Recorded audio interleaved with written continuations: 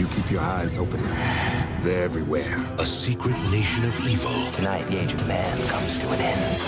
A war to save our world. Blade myself killed as many of them as we can find. A hero who knows no fear. He makes the weapons. I use them. Wesley Snipes. Stephen Dorff. Blade. Rated R. Starts Friday, August 21st.